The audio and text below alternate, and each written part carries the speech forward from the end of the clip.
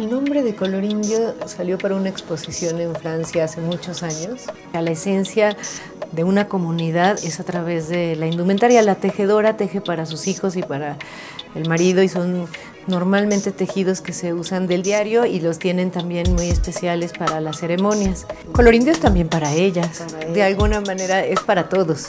El proyecto de PUM que nos parece increíble y decidimos lanzarnos con ellos pues porque definitivamente están haciendo algo que está mostrando lo bueno, la cara buena de México.